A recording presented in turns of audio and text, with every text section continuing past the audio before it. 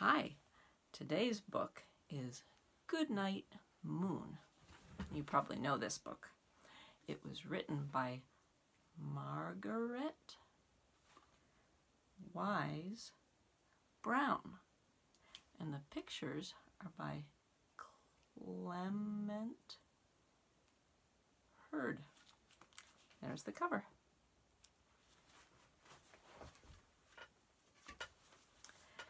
In the great green room, there was a telephone and a red balloon.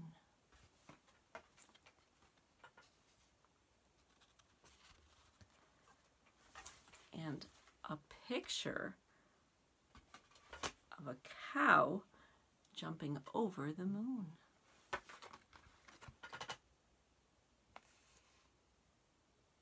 And there were three little bears sitting on chairs. And two little kittens and a pair of mittens.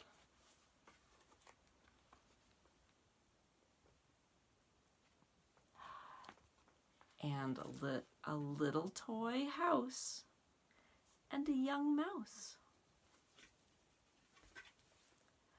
And a comb and a brush and a bowl full of mush.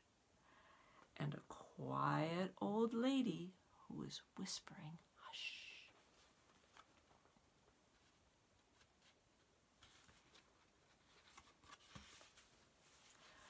Good night, room.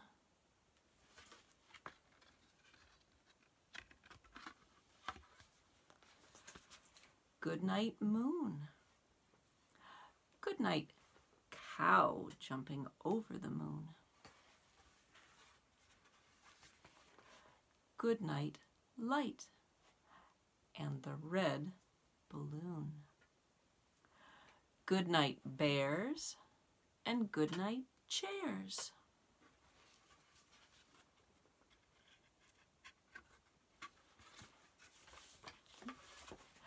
Good night, kittens and good night, mittens.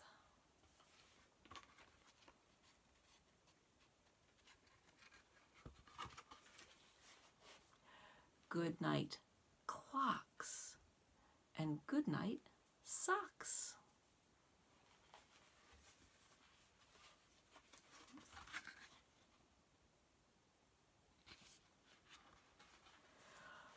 Good night, little house, and good night, mouse.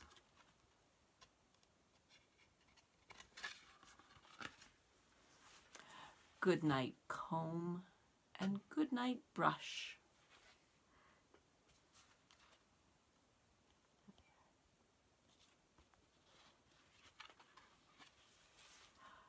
Good night, nobody. Good night, mush.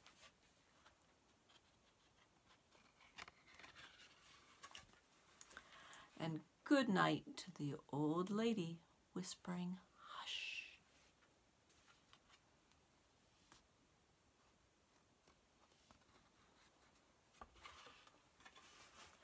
Good night, stars. Good night, air.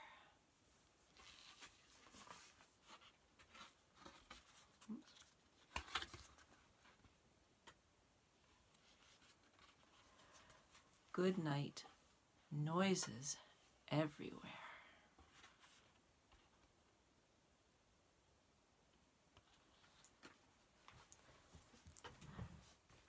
Now I'm going to show you the signs that I used in the story.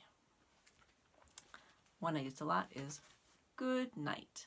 So good starts with good and goes down straight into the night. That's like the sun going over the horizon, just like that.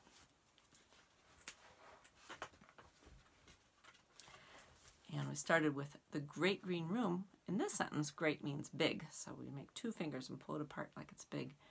And the great green, we've done green, room. You make two walls and two other walls.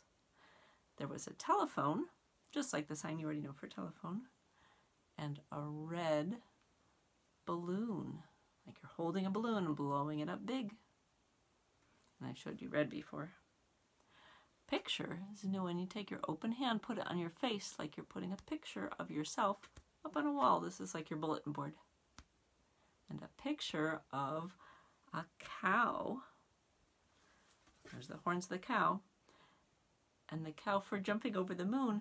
This is like a person jumping on their feet, but with cow jumping over the moon, it's going jumping really high over like that. So you can go jumping over the moon. Moon starts a little bit like picture, but it's like a thin little crescent moon.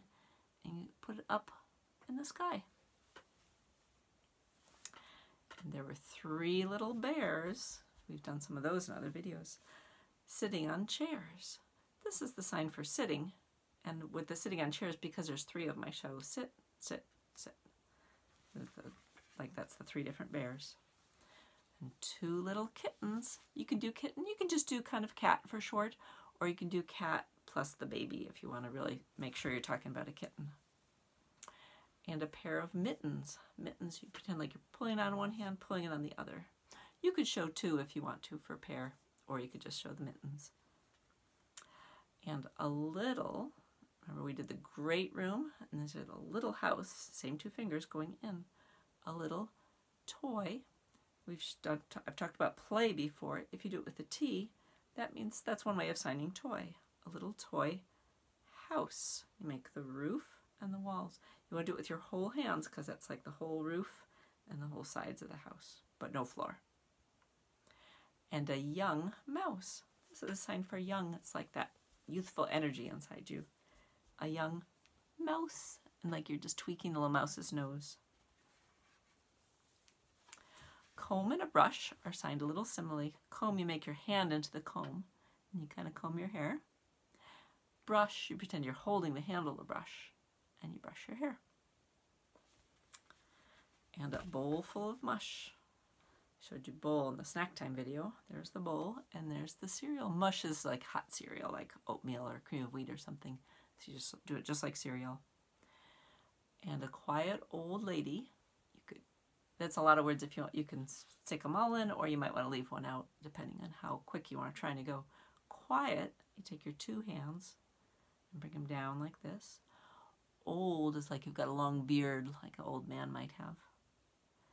And then lady starts like the sign for mom and then goes down to here.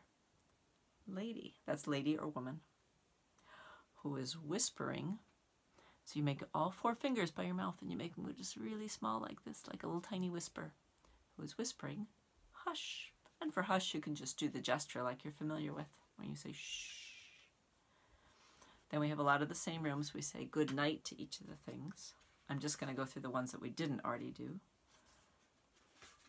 Um, oh, light is a new one in the good night part. Light, you can just show like the light up in your ceiling and it's shining down on you.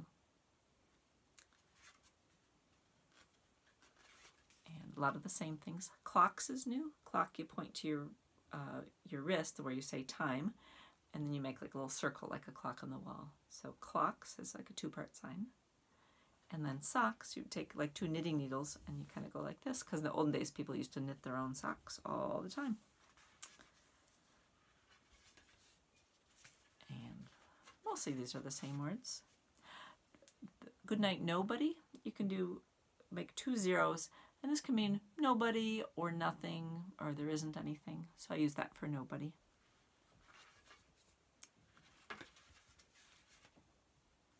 And stars, where socks was two fingers down like knitting needles, stars goes up, kind of like you're pointing to the stars. They kind of brush on each other. It makes me think of like striking sparks with sometimes flint or certain rocks will make sparks. And you're kind of pointing to the stars. That's stars the sign for air, the one I usually use for little kids when it just means like everything around us, is I just kind of make a big gesture around like that. You would use a different sign for an older child in a science class. And then noises, you just point to your ear. And it's at the last part, it says good night noises everywhere. So I do good night noises, and then again, just use that gesture to mean all around us, all the noises that we're saying good night to. All right, good night. Thank you for watching.